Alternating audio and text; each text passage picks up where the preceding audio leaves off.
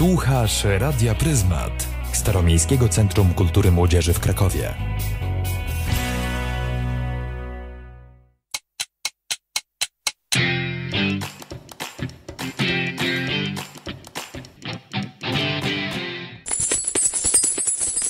Czas biznesu. We wtorek na antenie Radia Pryzmat. Moimi dzisiejszymi gośćmi e, są przedstawiciele pierwszego, w zasadzie jedynego sklepu, sklepu charytatywnego w Krakowie, pan e, Artur Wiktorski i pan Mariusz Baczyński. Witam. Witamy. Dzień dobry. Dzień dobry. Dobry wieczór. Dobry wieczór. W zasadzie zacznijmy od tego, czym jest biznes, z czym kojarzy nam się biznes. Y, Zrobieniem, zarabianiem pieniędzy, y, z dużymi pieniędzmi, z ciągłą bieganiną, a my dzisiaj przedstawimy ten biznes od innej strony. Panowie, pierwsze podstawowe pytanie. Kim jesteście? W sumie jesteśmy przedstawicielami e, Fundacji Inicjatyw Lokalnych Ekonomii Społecznej, która e, prowadzi sklep charytatywny w Krakowie. E, A pytanie pewnie dotyczy bardziej sklepu. Czym, czym ten sklep jest, jak działa? No to ten sklep to jest wyjątkowe miejsce w Krakowie, bo jedyne takie w Polsce generalnie, gdzie sklep charytatywny, taka działalność charytatywna połączona jest z zatrudnieniem osób niepełnosprawnych. E, jesteśmy z tego bardzo powodu dumni, że udało nam się ten cały taki misterny plan dopiąć na ostatni guzik i sklep został powołany do życia. Sklep jest wyjątkowy no, z kilku powodów. Jakby jest potrójnie charytatywny. Po pierwsze, zatrudnia osoby y, niepełnosprawne, które no, normalnie pracują jak każdy zwykły pracownik na etacie, wykonują zwykłe obowiązki każdego zwykłego pracownika. E, I to jest pierwsza rzecz. One w tym czasie przechodzą rehabilitację zawodową, jakby otwierają się na ludzi, e, ich horyzonty się poszerzają. Jakby jest wielopoziomowa zmiana. E, no, o tym może później. Drugim aspektem charytatywnym jest to, że mm, to Kraków sprawia, że ten sklep żyje, bo to y, właśnie rzeczy przynoszone przez krakowian sprawiają, że mamy czym handlować, że możemy, możemy prezentować jakieś nowe rzeczy, że możemy e, dzięki temu e, prowadzić działalność i się rozwijać. Y, Trzecim aspektem charytatywnym jest to, że jakby cały ten dochód idzie na cele społeczne. Jakby cały dochód z tego sklepu jest kierowany właśnie dla osób niepełnosprawnych, które e, właśnie dzięki temu mogą tą rehabilitację przechodzić. Więc tak krótko, kim jesteśmy. W jaki sposób powstała ta piękna inicjatywa? Kto zainicjował powstanie tego sklepu? No w sumie, w sumie to trochę zainicjowa- zainicjowaliśmy my, bo, bo chcieliśmy, y, mieliśmy pomysł, chcieliśmy realizować, e, no chcieliśmy jakby, mm, więc e, już było dość, dość trudne, bo jakby na, o samych pomysłach, no fajnie, okej, mieliśmy jakieś pomysły, ale e, jakby dobrała się fajna, fajna ekipa ludzi, gdzie mogliśmy, gdzie mogliśmy mm, jakby e, ten pomysł totalnie zrealizować. Ja trochę wszedłem w nich, jakby w tą, w tą, w tą, tą zgraną paczkę, od sierpnia, kiedy już te, jakby te prace były dość zaawansowane. Więc jakby uczestniczyłem jakby przy końcu tego, przy końcu tego etapu powstawania tego sklepu, więc widziałem jak, na jakim oni są w takim napędzie i spięciu. E, Jakby chcieli to bardzo, bardzo zrobić, tak jak tutaj myśmy rozmawiali poza anteną, no jakby te problemy trochę się piętrzyły przed samym otwarciem i oni jakby jeden problem rozwiązywali, pojawiał się za chwilę drugi problem i te problemy trzeba było rozwiązywać jeden po drugim więc to nie było dość, dość łatwe, ale jakby ten cel był jeden wspólny i wydaje mi się, że jakoś się teraz udał, bo, bo górka była dość ogromna, zanim, za- zanim to wszystko tak ruszyło na maksa, ale teraz już jest w sumie fajnie. To tak jak było z tymi, pamiętam jak y, mieliśmy spotkania, no y, fajnie otwieramy, ale co z rzeczami, y, skąd je będziemy brali. Mieliśmy, oni tam zrobili wcześniej jakby taką zbiórkę, tych rzeczy było dość sporo, no ale jakby rzeczy mają to do siebie, że ludzie będą, no, będą wychodziły, ludzie będą kupowali, my będziemy sprzedawali. I ten problem rozwiązał się dość samoistnie, bo przy otwarciu sklepu po prostu ludzie ciągle coś donoszą. Krakowianie ciągle coś przynoszą nam, więc mamy jakby pełne magazyny cały czas. Cały czas oczywiście zachęcamy do przynoszenia, ale no mamy tego naprawdę sporo i możemy to wystawiać i sprzedawać i, i jakby te osoby się fajnie odnajdują w tym sklepie, więc cały czas mamy gości w tym sklepie. Także jakby na, bra na brak, e, brak rzeczy do sprzedaży no nie możemy narzekać. E, Czyli tutaj hasło dzięki Wam e, niesiemy pomoc. e, W praktyce się sprawdza zdecydowanie. Tak, generalnie tak, to wszystko jest dzięki Wam, drodzy słuchacze, e, nie tylko słuchacze.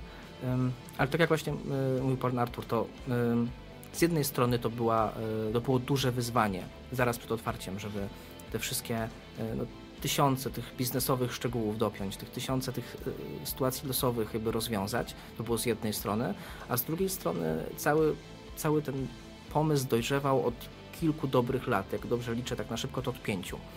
E, I pięć lat temu pojawiła się taka myśl e, i ona się pojawiła z tego powodu, mm, że współpracując z różnymi ośrodkami, które jakby zajmują się wychowaniem czy rehabilitacją osób niepełnosprawnych, spotkaliśmy się z takim problemem, że te osoby mają problem nawet ze znalezieniem praktyk zawodowych.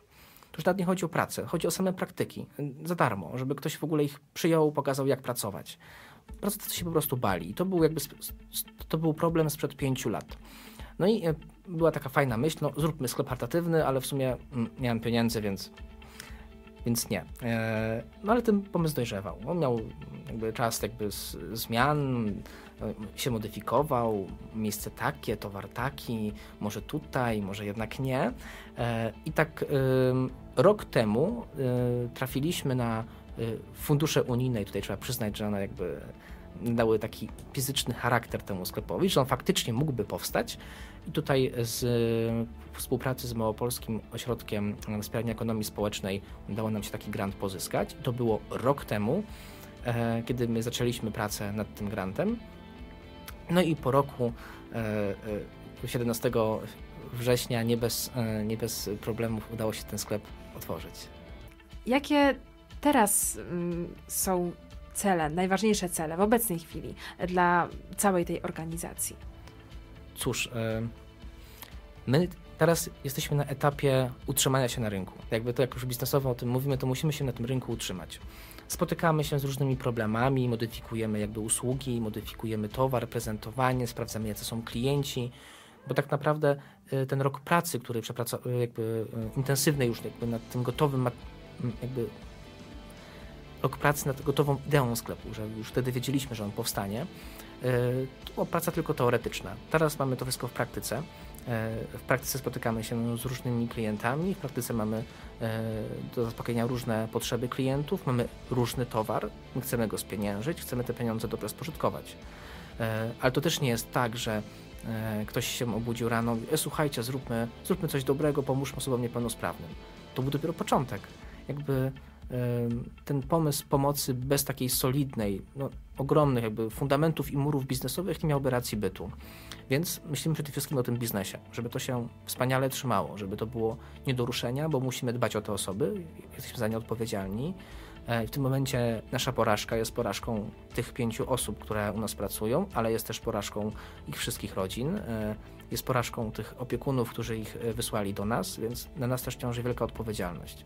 E, I jak już poradzimy sobie, myślę, że w ciągu kilku miesięcy, z utrzymaniem się na rynku, jakby sprostaniem, sprostaniem wymaganiom tym, które są e, przez klientów jakby stawiane, wtedy zaczniemy patrzeć dalej i się rozwijać, a możliwości mamy różne i będziemy z nich e, korzystać. Po pierwsze, chcielibyśmy tych osób zatrudnić więcej. To jakby jest taka podstawowa rzecz, żeby to, tą grupę tych osób niepełnosprawnych pracujących u nas po prostu poszerzyć i jakby jest to ekonomicznie jak najbardziej możliwe e, i są też osoby zainteresowane, ta potrzeba jakby jest ogromna, więc chętni do pracy są.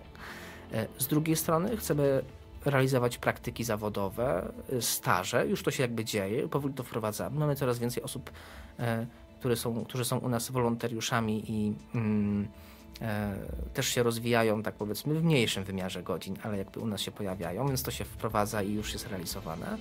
Z drugiej strony, z trzeciej strony właściwie, chcielibyśmy kolejne sklepy otworzyć, żeby e, prościej było e, na tym rynku działać, żeby e, dotrzeć do kolejnych osób, pokazać szczytną ideę, bo tutaj właśnie się pojawia ten cel nadrzędny. To, od czego wyszliśmy. Chcemy zmienić, bo jakby w początku, to, że my zatrudnimy chociaż 20 albo 30, 40 osób, to się tak naprawdę, to jest kropla w morzu. E, prawdziwym problemem jest to, że osoby niepełnosprawne po prostu tej pracy nie mogą znaleźć, bo jej dla nich nie ma. E, I te kilkanaście, kilkadziesiąt miejsc, które my byśmy nawet w ciągu tych kilkunastu lat pracy teoretycznie byśmy stworzyli, to dalej jest tylko niewielki wycinek tego całego ogromnego morza, które e, przed nami stoi. Więc my chcemy finalnie zmienić patrzenie na te osoby. Jak wygląda taka codzienność w Waszej pracy? Codzienność jest dość elastyczna, dlatego że część z nas pracuje w biurze fundacji, a część na sklepie, więc dość bardzo często się wymieniamy. Um, więc jakby dlatego też na biurze, bo musimy jakby planować strategię i rozwój naszej fundacji i, jak, i strategię rozwoju również sklepu, co za tym idzie. Więc jakby e, to jest nieodzowna część naszej pracy, a jeżeli się zmieniamy, no to jest to też wymuszone potrzebą chwili. Po pierwsze, no też chcemy być z tymi osobami, żeby one nas widziały, że jesteśmy też z nimi cały czas, a, a druga sytuacja jest taka, że jakby no też jakby mm, wymusza to na nas, że jakby musimy tam też być, jakby coś się dzieje, musimy reagować na bieżąco, rozwiązywać problemy, no ale też pomagać, więc jakby też biegamy, jesteśmy dość mobilni między między, między naszą siedzibą fundacji, a między, a między sklepem, więc troszeczkę... Czyli to, są dwa różne miejsca? Dwa różne miejsca. Mamy biuro, mamy w innym, w innym, a sklep mamy w innym miejscu, więc musimy trochę, trochę się przemieszczać między, między, naszym, między naszą siedzibą a, a, a sklepem, więc trochę tak, tak wygląda u nas. E, a jeżeli chodzi o czas, jeszcze bardziej jest elastyczny. E, czasami zaczynamy pracę o 9, a kończymy bardzo późno. I sklep otwarty jest codziennie? Sklep jest otwarty od poniedziałku do piątku od 10 do 18 i w sobotę od 10 do 16. Tak, Czyli to... podczas weekendu też możemy odwiedzić. Tak, tak oczywiście, tak, zapraszamy. Tak. A kto tworzy zespół e, sklepu?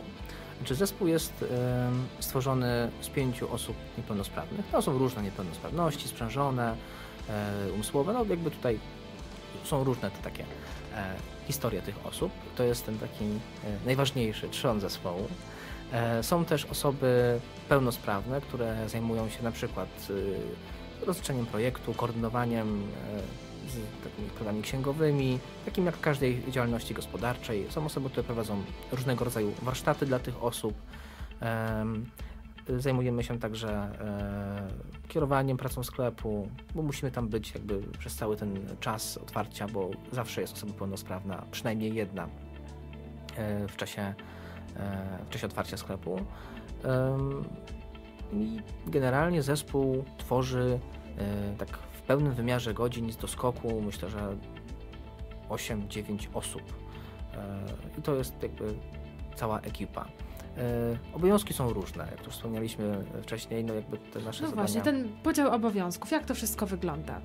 Co tam dokładnie robić? Generalizując, tak, jak, mhm. jeżeli my poniedziałek otwieramy sklep, e, no trzeba przyjść parę minut wcześniej, wiadomo, takie ogólne porządki, e, jest rozdzielanie obowiązków dla wszystkich pracowników. To, to osoby pełnosprawne, niepełnosprawne, w zależności od tego, kto akurat jest na zmianie.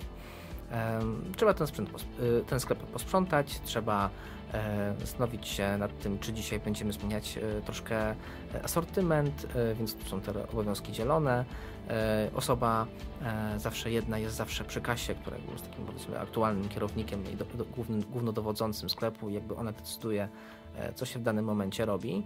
Natomiast obowiązki dla osób niepełnosprawnych są przydzielane w taki sposób, żeby mm, z jednej strony ich niepełnosprawność nie przeszkadzała w tym, w tym, co robią, a z drugiej strony, żeby ten obowiązek troszkę wykraczał poza taką e, bezpieczną, komfortową strefę.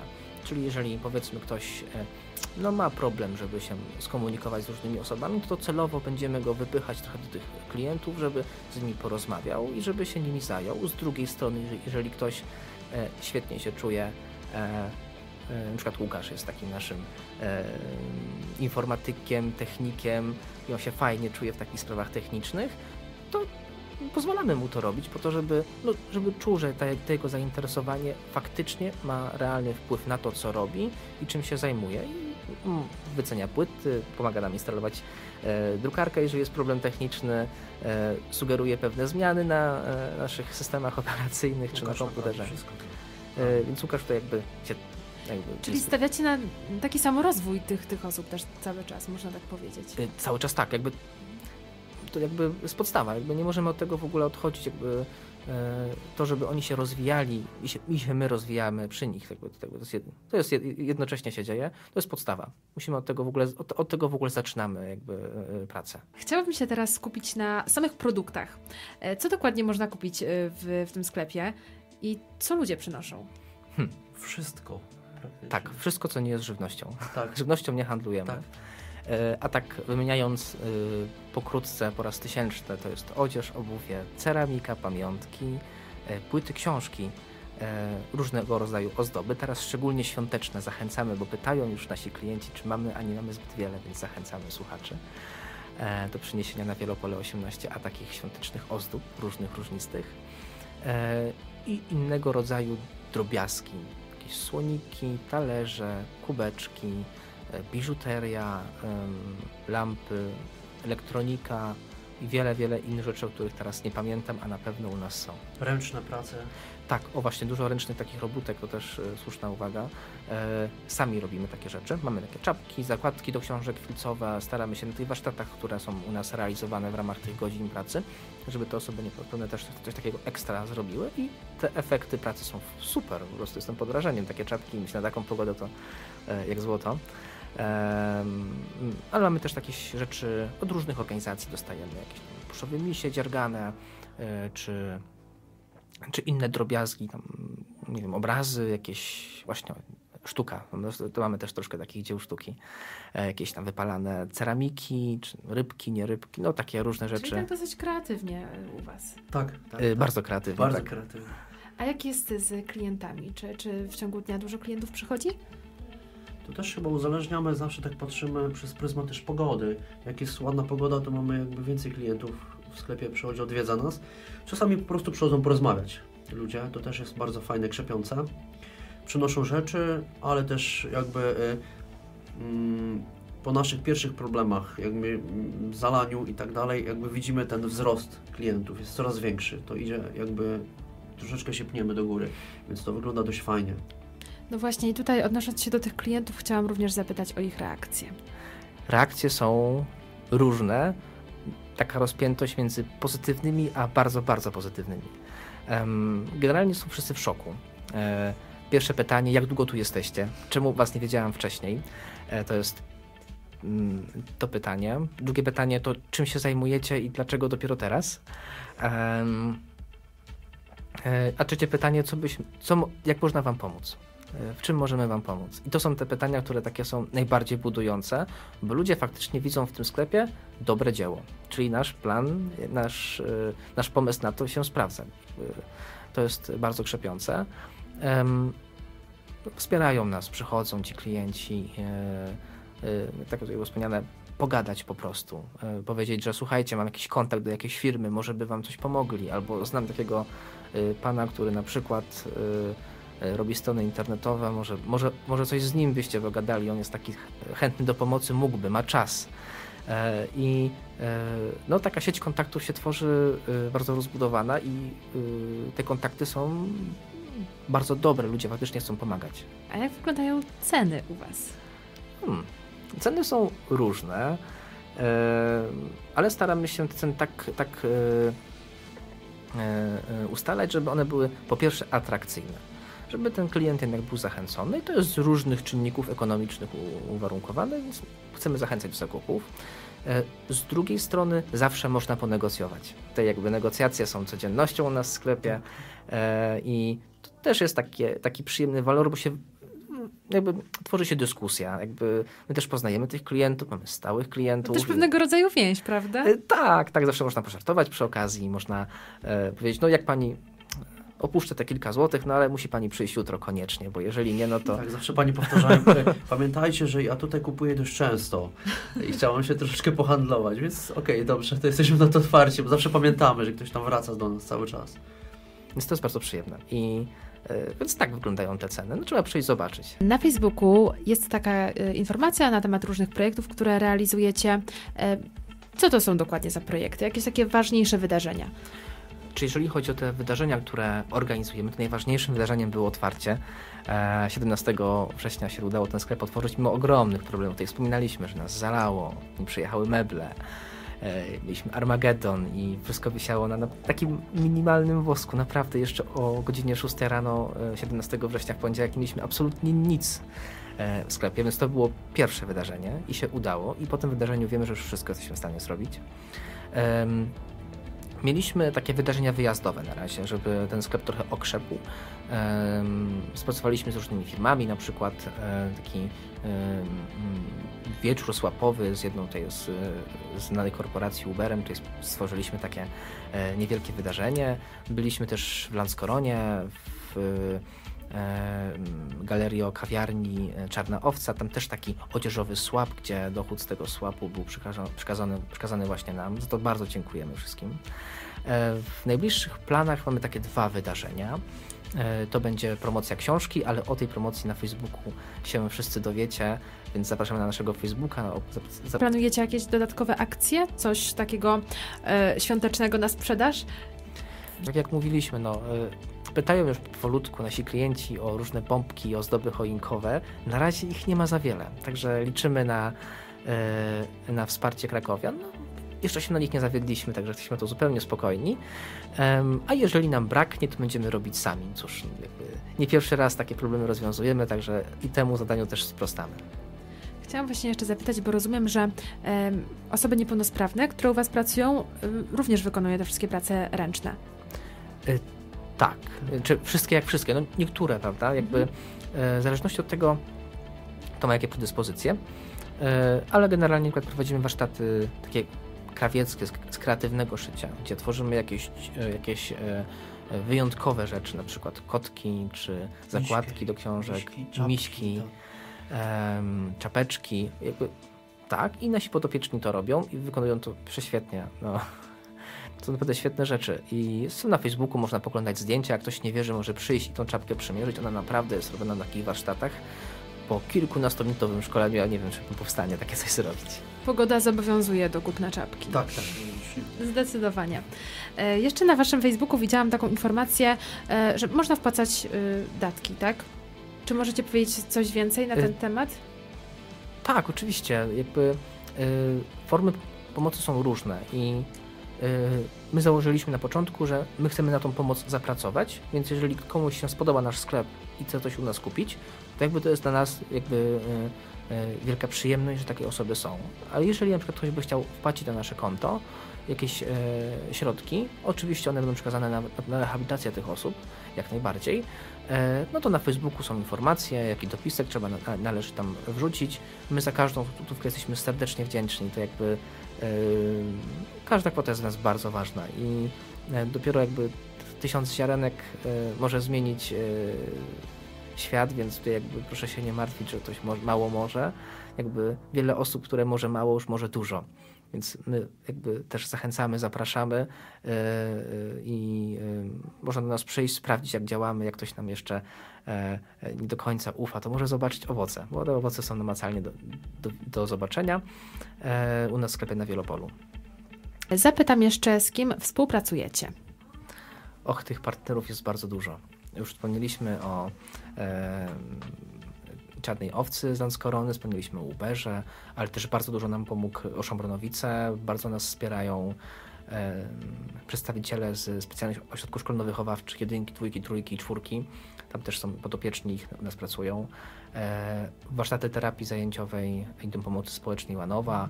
E, Wisła Kraków także nam wróciła jedną koszulkę z autografem i też współpraca z nimi jest świetna naprawdę y, tych partnerów jest bardzo, bardzo dużo. Ja to pewnie wielu nie wymieniłem i wiele takich osób pomniejszych y, czy mniejszych firm. Ktoś tam przywiózł y, pół wagonu butów nowych ze swojego sklepu, bo po prostu chciał. E, to też jest bardzo wielki, wielki ukłon w stronę te, tej osoby. Suknie ślubne też mamy. Tak, dostaliśmy też suknie ślubne. Tak, z salonu e, tak, tak, tak. Włoskie funkielnówki jeszcze tak. nie pakowane no, to jakby mówić godzinami moglibyśmy komu, komu dziękować. Tych partnerów jest bardzo, bardzo, bardzo dużo. Czyli pomóc może każdy, po prostu każdy. E, tak, tak, jeżeli ktoś nas teraz słyszy i myśli, że mam, hmm, mam jakąś działalność, coś potrafi robić, coś robi, coś ma, no, dzwonić do nas, pisać maile na Facebooku. E, spożytkujemy taką pomoc, przekujemy w złoto na pewno.